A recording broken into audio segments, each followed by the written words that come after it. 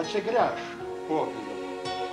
Atsigręžk, kai pakilsi į žaliasias kalvas iš užvenčio baltųjų lelyjų ilgesingojo dvaro. Atsigręžk ir pažvelk nuo žaliųjų kalvų.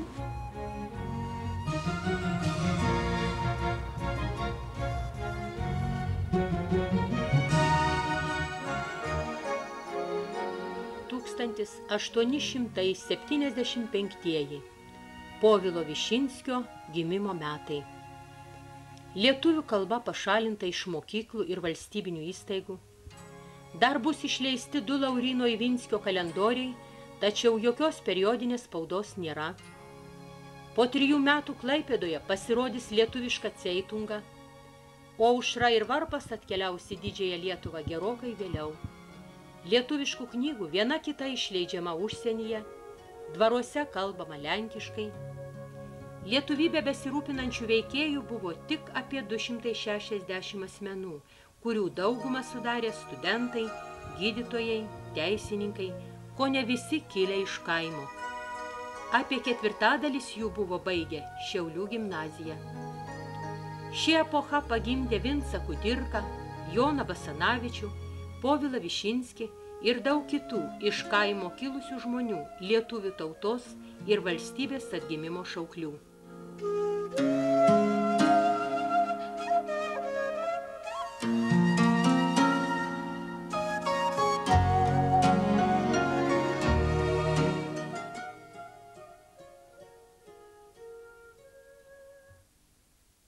Povilo tėvai, Adomas ir Magdalena, kilę iš laisvųjų valstiečių, Ušnėnuose priklausė prie kilmingųjų. Iš visos užvenčio parapijos tik dvi šeimos po vieną vaiką leido į mokslus. Abu jie buvo pusbroliai Višinskiai, Jonas ir Povilas. Povilo tėvas norėjo sūnų išleisti kunigus, tačiau gan anksti formavosi jaunojo Višinskio realistinės pažiūros, atitolinusios Povilą nuo bažnyčios. Tėvo ir sūnaus santykiai kurį laiką buvo įtemti, tačiau Povilui pradėjus užsidirbti ir atsisakius paramos iš tėvų, tie santykiai vėl pagerėjo.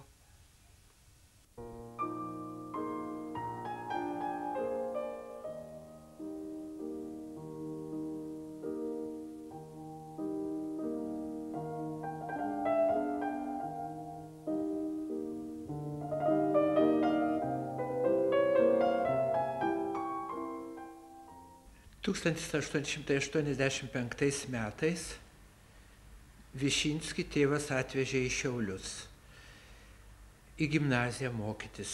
Šiauliai jau buvo beaugantis toks pramonės miestas.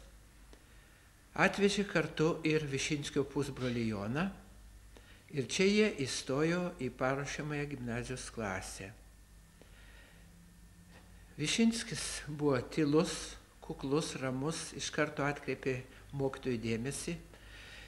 Iš pradžių jo globėjų buvo toks mokytas Arhangelskis, kuris taip ir vėliau globojo Povilą Višinskį. Ir Višinskiui po parengiamosios klasės pavyko išlaikyti egzaminus, įstoti pirmąją gimnazijos klasę. Višinskis labai karštai ėmėsi mokslų. Už mokslą reikėjo mokėti labai brangiai. Iš pradžių berots ar ne 25 rublius, kurie tada buvo labai vertingi.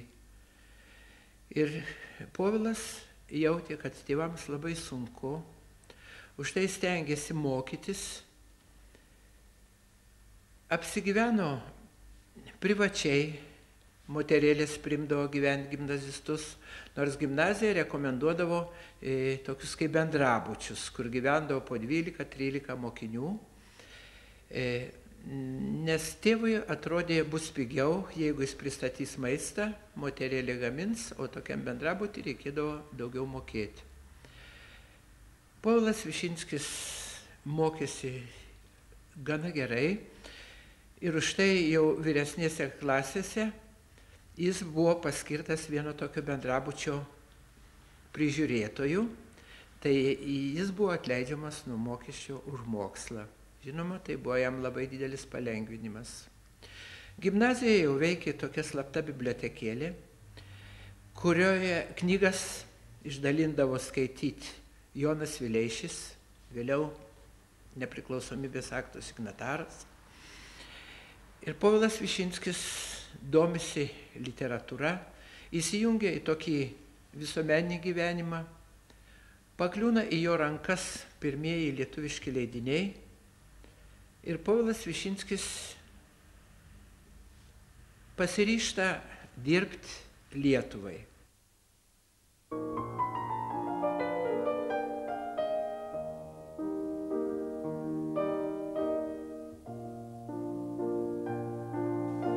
Povilas Višinskis, nepaklusęs tėvo valiai, įstojo ne į Kauno kunigų seminariją, o į Peterburgo universiteto fizikos matematikos fakulteto gamtos skyrių. Lietuvoje liko Povilo pirmoji meilė ir dalinai pasiekėja Litvomanės kelią pasirinkusi raganiukė Marija Pečkauskaitė ir gimtuosiuose užnienuose kaimynė Julija Žymantienė. Paties Povilo įkalbėta rašyti. Peterburgė Povilą pasitiko skurdas, įvairūs gyvenimo rūpešiai ir naujos pažintis. Višinskis susipažino su Petru Avižoniu, vėliau per jį su Jonu Jablonskiu. Povilas sudomino studento Prano Vaičaičio eilėraščiai, kuriuos Povilas siuntė į Varpą. Višinskis pradėjo siuntinėti korespondencijas į Varpą ir ūkininką, rūpinosi pirmųjų Marijos Pečkauskaitės ir Julijos Žymantinės kūrinių redagavimu ir spausdinimu. Studijos, didelis visuomeninis krūvis, drėgnas Peterburgo klimatas paveikė povilo sveikatą. Džiova tokia buvo gydytojo išvada. Gavęs universiteto pašalpą, išvažiavo į Krymą taisyti sveikatos. Tuo metu buvo galima nelankyti paskaitų, tik reikėjo išlaikyti egzaminus ir atlikti programinius darbus. Povilas tolesnės studijas tęsė tai Jaltoje, tai Užnienuose, tai Peterburgė. Tik keičiant gyvenamąją vietą, kiekvieną kartą reikėdavo gauti leidimą iš policijos.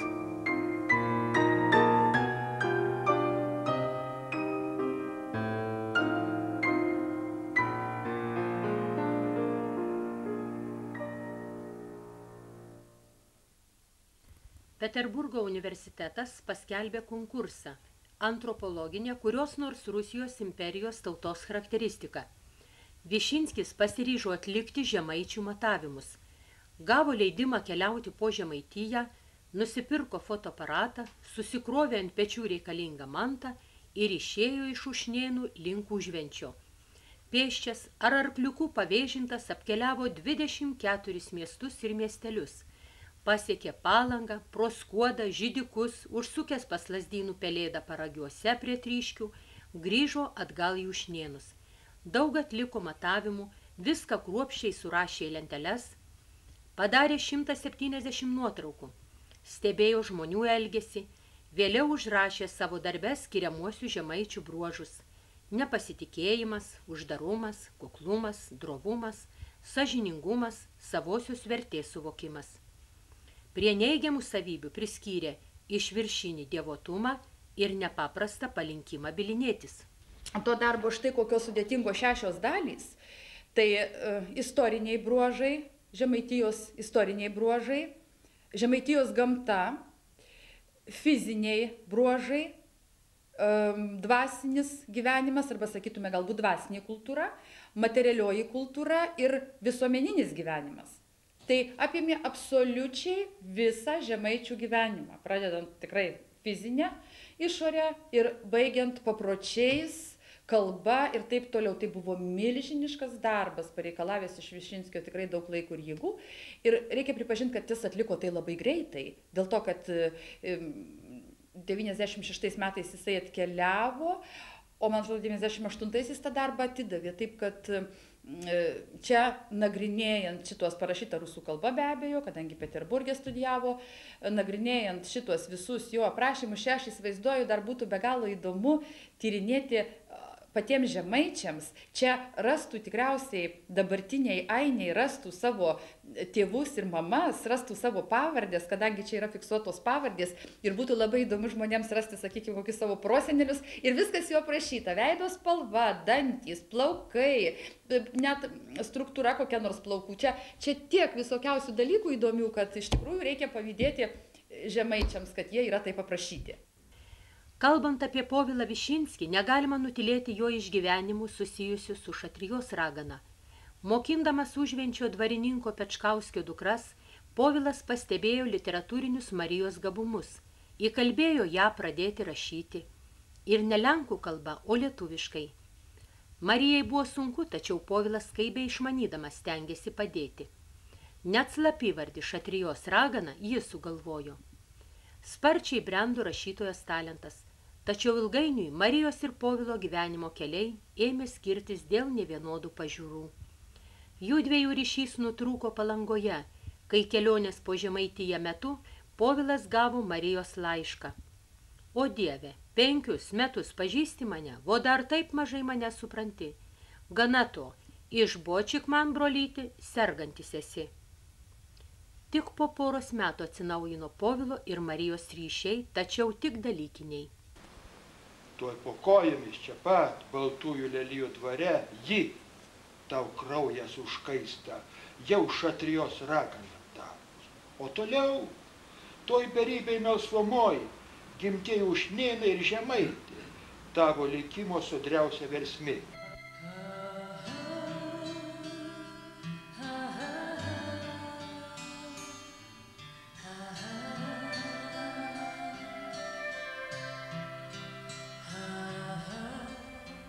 Bene didžiausias Povilo Višinskio nuopelnas ir sėkmė – žemaitės atradimas.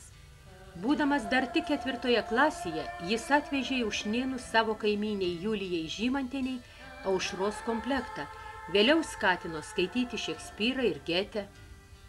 Povilas retai būdavo užnienuose, todėl su žemaitė daugiausiai bendravo laiškais. Laukdavo naujienėlių ir laimelių, taip vadindavo naujus kūrinius – kartu su draugais skaitydavo ir aptardavo, o paskui siūsdavo savo pastebėjimus ir patarimus.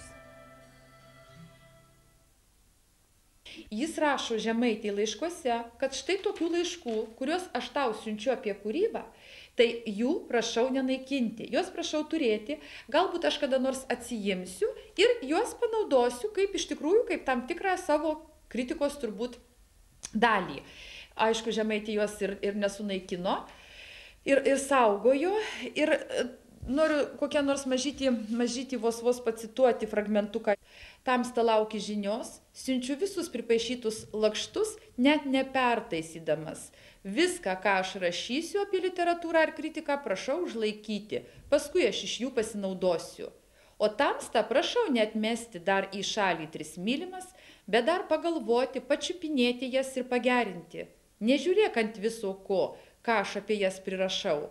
Bet pati apmislyk ir karas reikalinga dėl pataisymo, pataisyk, nes geriau už mane pažįsti žmonės. Visa jo tokia kritika yra ir laiškai žemaitiai, kad e, jisai be galo taktiškai moka.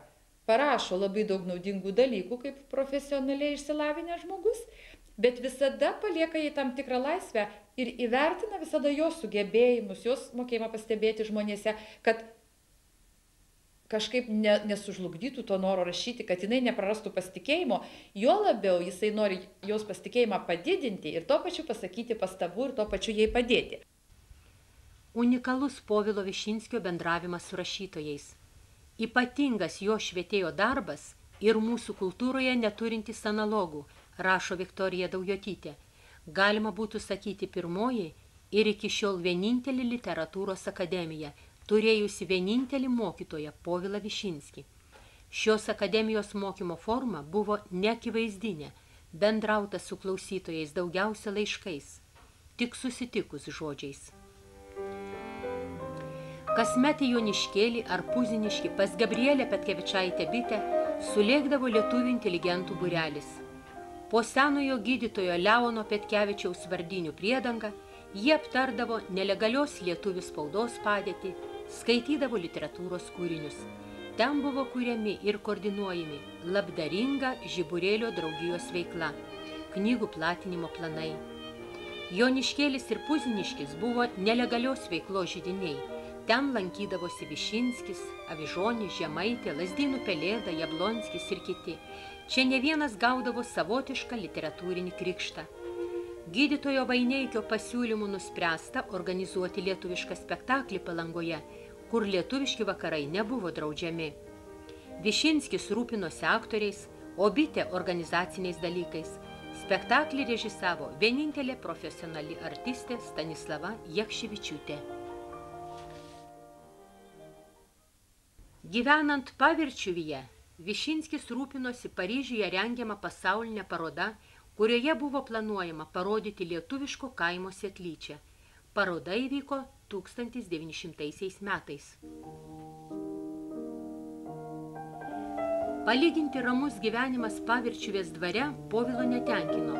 Susirado darbą Kurtuvėnuose, susipažino su netoliese gyvenančiu Vladu Putvinskiu, kuris garsėjo savo demokratinėmis idėjomis – Višinskis pajuto savo pažiūrų ir siekių bendrumą su Putvinskiu. Kartu sprendė lietuviškų knygų gabenimo problemas. Vlado Putvinskio dvare Šilo pavežupyje, kaip ir Joniškėlyje ar Puziniškyje, rinkdavosi litvomanai, spaudos darbininkai. Čia Višinskis atrado Joną Krikščiūną Jovarą, susipažino su Zmuicinavičiumi, bendravo su Povyliumi, Emilija Gruzdytė Putvinskienė, Jablonskiu, Šilo pavyžupyje lankėsi bitė, Juškytė iš Pernaravos, net Marija Pečkauskaitė yra buvusi. Gyvendamas Kurtuvėnuose, Povilas Višinskis susirašinėjo su Jonu Basanavičiumi, užrašinėjo tautosaką, rengė gegužinės bubiuose ir šiauliuose. Dažnai buvodavo šiauliuose, susitikdavo su Biliūnu ir Jasiukaičiu, lankydavosi Pasadnos, dabar Vytauto gatvėje pas Jekševičius, Tuo metu Stanislava Jekševičiūtė ištekėjo už Kazimiero Venslauskio, o Povilas susipažino su Juzefa Mikuckaitė, su kuria vėliau susitokė.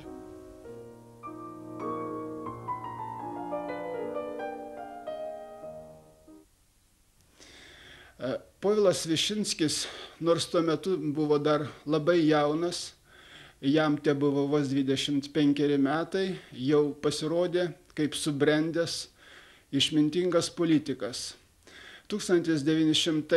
1901 metais Povilas Višinskis, pirmasis iš lietuvių politikų, suformulavo nacionalinio judėjimo galutinį tikslą. Straipsnėje, kuris parašė varpui, pavadintame skambiu vardu Kredo, Povilas Višinskis rašė, mūsų idealas nepriklausoma Lietuva. Kviesdamas kurti naujos gadinės tautą, tai yra modernę tautą, Povilas Višinskis irgi kategoriškai teigia, kad ji turi būti nebailių tauta. Nejudink nei kojų, nei rankų, o labiausiai valdyk liežuvį, nejusi kaip puikiai savo amžių pabaigsi, niekur tavo koja neužklius, niekas tavo širdies ir proto neužgaus, būsi laimingas, žolino ar keulės laimę pasieksi.